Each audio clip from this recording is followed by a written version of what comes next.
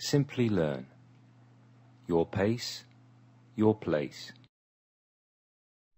Minitab Statistical Capabilities Part 2 Hello and welcome to Simplilearn's e-learning course on Minitab.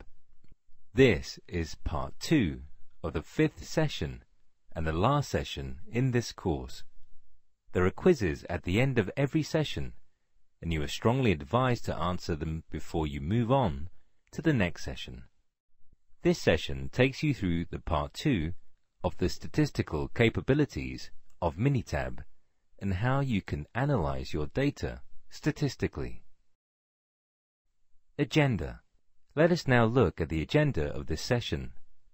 In this session, we learn the scenarios where these tools are used and how to analyze and interpret our data in Minitab using the following tests. Design of experiments, control charts. Let us now look at each of these in detail. Business scenarios.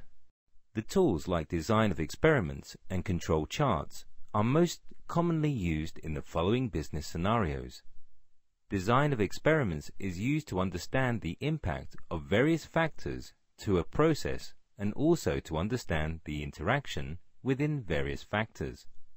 This helps to take important decisions on which factor to change to have the desired changes to the process.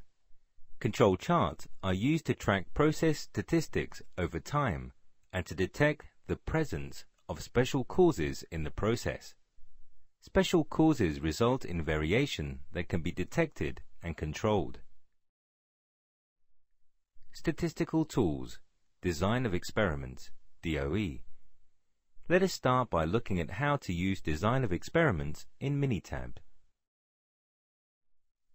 Design of Experiments In this topic we will cover Understanding of Design of Experiments or DOE How to set up a factorial design How to analyze the factorial design How to use factorial plots for main effects and how to use factorial plots for interactions. Design of experiments. DOE helps you to screen the factors to determine which are important for explaining a certain process variation. Understand how factors interact and drive your process. Find the factor settings that produce optimal process performance.